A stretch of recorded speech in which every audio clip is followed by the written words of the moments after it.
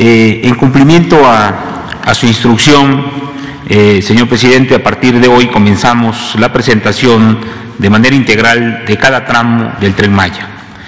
Iniciamos con la información integral del tramo 1. Primero haremos una presentación general y luego cada dependencia y consorcio eh, ofrecerá detalles. La ruta del tren Maya comprende 1.554 kilómetros que se construyen en siete tramos. El tramo 1 se integra por 226 kilómetros de Palenque, Chiapas, a Escárcega, Campeche.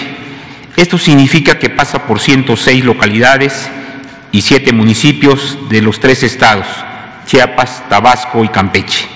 A lo largo del tramo, del tramo 1, los pasajeros podrán ascender y descender en cuatro estaciones, Palenque, Boca del Cerro, El Triunfo y Escárcega también habrá dos paraderos, uno en Tenosique y otro en Candelaria.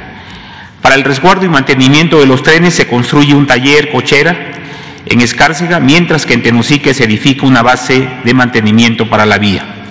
En el tramo 1 también se construyen 575 obras complementarias, que son 12 puentes que cruzarán ríos y arroyos, cuatro viaductos, 383 obras de drenaje transversal y 176 puentes vehiculares, peatonales y de fauna. Toda esta obra permitirá el paso del tren con plena seguridad por ríos y arroyos, ciudades, conservando la conectividad y las actividades cotidianas de la población, además que se protegerán los ecosistemas. En lo referente a insumos del tramo 1, se requerirá un total de 517 mil toneladas de balasto, 29 mil toneladas de riel y 424 mil piezas de durmientes. Desde luego, la obra del tren Maya es actualmente la principal generadora de empleo en el sureste. Tan solo en el tramo 1 hay más de 12 mil empleos ya generados.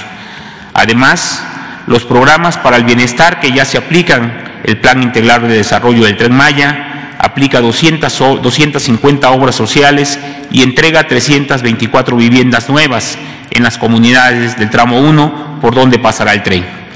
Para preservar el patrimonio cultural será uno de los grandes atractivos para quienes viajen en el tren Maya. El programa de mejoramiento de zonas arqueológicas interviene tres sitios en el tramo 1, Palenque, Moral Reforma y El Tigre. En Palenque y El Tigre también se construyen los centros de atención a visitantes. Como parte del trabajo integral de la obra, de las obras de Palenque, la Secretaría de la Defensa Nacional rehabilitará el aeropuerto internacional y construirá un hotel.